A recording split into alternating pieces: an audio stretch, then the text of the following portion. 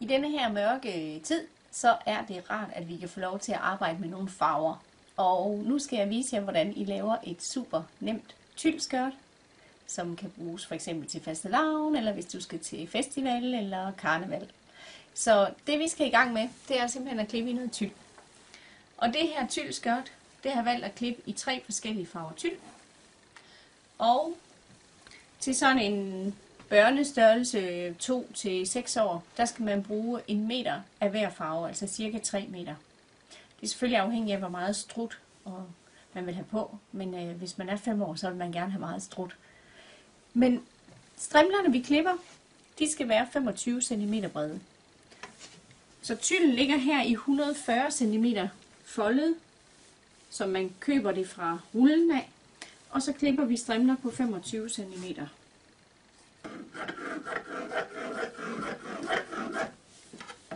Og tyld er jo et meget nemt materiale at arbejde i. Der er ikke noget, der skal zigzagges. Der er ikke noget, der travler.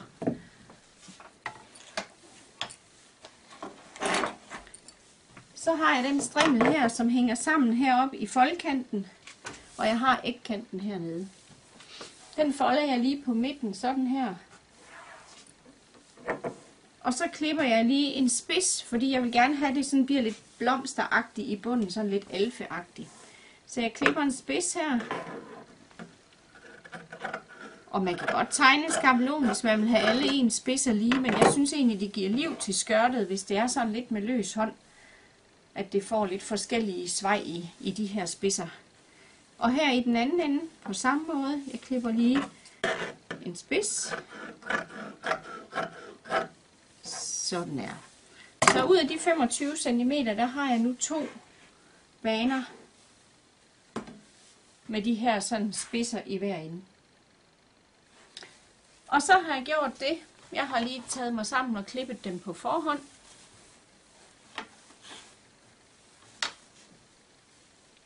De ligger her, og jeg har lagt dem ind nu skiftevis i farverne.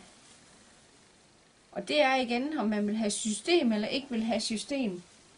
Så har jeg nu lagt dem her i rød og pink og gul skiftevis. Så når de ligger hen ved symaskinen, så tager jeg henholdsvis en af de tre farver på skift. Så lad os gå hen til symaskinen, fordi nu skal vi have syet den ene søm, det kræver for at få lavet det tyldskørt. Så er vi klar til at sy, og det vi skal lave, det er en løbegang op øverst i tyldskørtet. Vi skal bruge noget almindelig blød elastik og en enkelt kloverklips til at holde elastikken. Og så har jeg ellers symaskinen klar her med almindelig ligeudsyning. En 80'er nål har jeg sat i, og jeg har en almindelig god polyestertråd i over- og undertråd. Og stinglængden er almindelig på cirka 2,5 mm. Og så skal vi så folde vores baner her. Og jeg vil gerne have, at den får lidt differentieret længde, altså længden ikke bliver helt ens, så jeg skal ikke lægge dem på halvvejen her. Den skal lige nulles lidt op efter, så den får lidt forskellig længde. Og det tager jeg også sådan lidt nonchalant, om de skal være lidt korte eller lidt lange, så der bliver noget liv i skørtet. Så altså folder den, men lidt for skudt her. Og så skal vi have elastikken lagt ind med det samme. Og jeg binder lige en, en knude her i øh, starten af elastikken.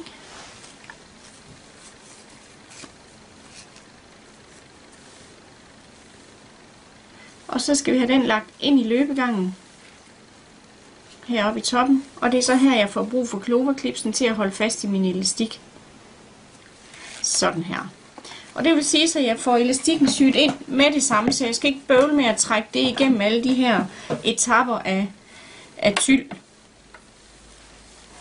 Og så syr jeg med cirka en løbegang på omkring 2 cm bredde, altså fra foldkanten og ned.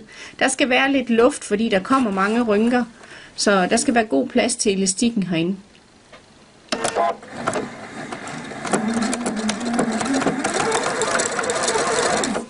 Sådan her. Og så er det ellers bare der ud af hen over alle de forskellige tyndstykker.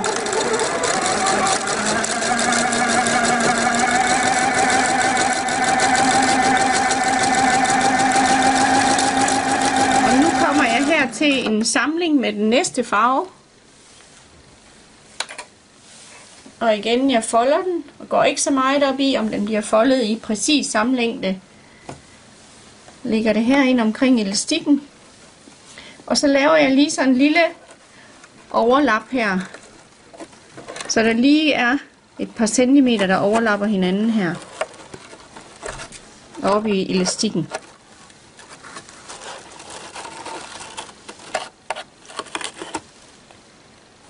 Sådan der. Skal vi lige have snoet ud. Så.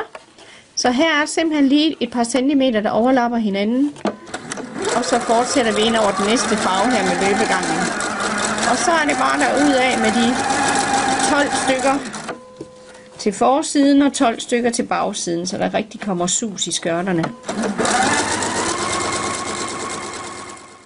For at vi ikke skal have flere meter elastik i gang, så undervejs, og er ved at sy alle banerne sammen, så kan vi sagtens lige trække lidt i elastikken. Og så få dannet nogle af rynkerne her undervejs.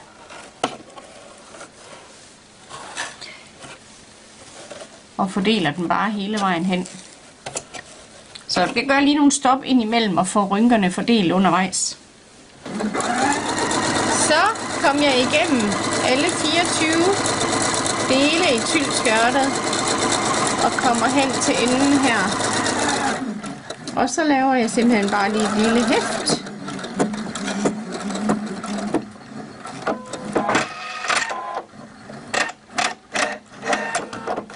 Sådan her.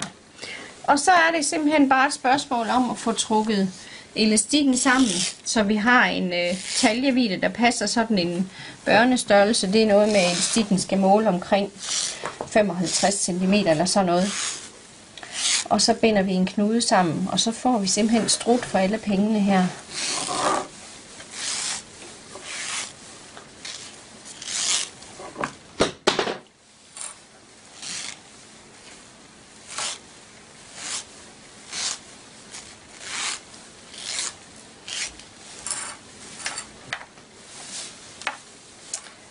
Så her har vi de to ender, vi skal have bundet sammen.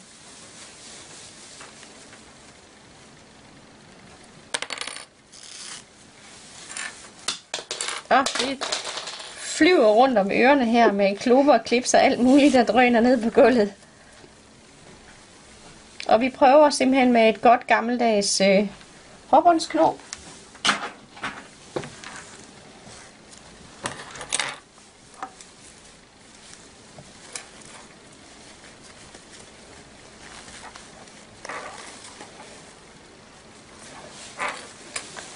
Sådan her.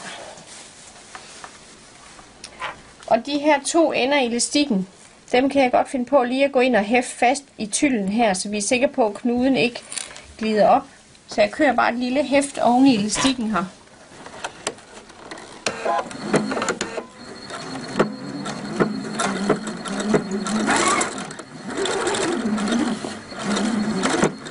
Bare lige et lille hæft, så vi har fat i elastikken her på begge sider.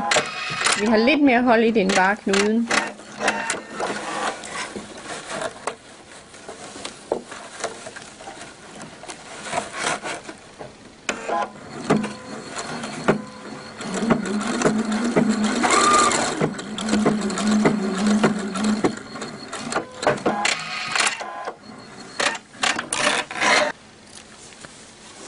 Så klipper vi lige elastikenderne af og trådenderne her.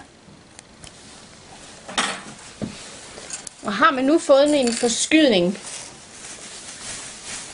som er lidt for stor i nogle af spidserne, jamen så er tylden jo så taknemmelig, at man bare kan gå ind og klippe det til.